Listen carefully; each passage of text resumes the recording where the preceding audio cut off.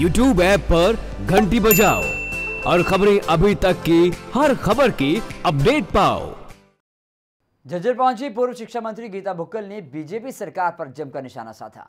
सरकार के बेटी बचाओ, बेटी पढ़ाओ अभियान पर सवाल खड़े करते हुए उन्होंने कहा कि सरकार के मंत्री की पुत्रवधु ही सुरक्षित नहीं है तो प्रदेश की बेटियाँ कैसे बचेंगी?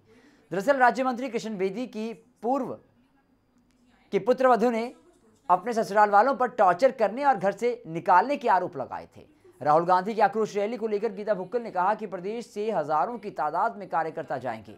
पूर्व सीएम हुड्डा पर ही रहेगी ज़्यादा भीड़ ले जाने की ज़िम्मेदारी और साथ ही वहीं सीएम के झज्जर दौरे को फ्लॉप बताते हुए गीता भुक्कल ने कहा कि दो बार मुख्यमंत्री जी झज्जर पहुँचे, लेकिन फिर भी प्रदेशवासियों के हाथ खाली रहे।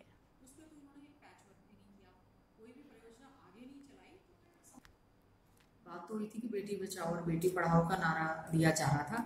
बाकी ही बेटियों को बचाने की बात पड़ रही है। बेटियाँ क्या बहुओं को भी बचाने की बात पड़ रही है? बेटियों, बहुओं के साथ साथ माता पिता को भी बचाने का हालत यहाँ पर हो गई है, जो कि उन्नाव में इंसिडेंट हुआ, एक बेटी के साथ रेप हुआ, उसके बाद उसके पिता के साथ हुआ, कठुआ में हुआ।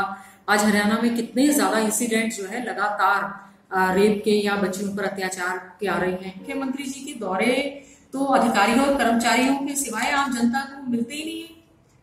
कह रहे हैं कि सीएम विंडो सीएम विंडो है तो फिर वो तो चाहे सीएम साहब खुद आए या सीएम विंडो के तहत लोग डालें तो लोकतंत्र में और सरकार का फ़ायदा तब होता है जब प्रदेश के मुखिया जब आए, आम जनमानस से वो मिले, उनकी समस्याओं को सुने भी, उनका समाधान भी करें।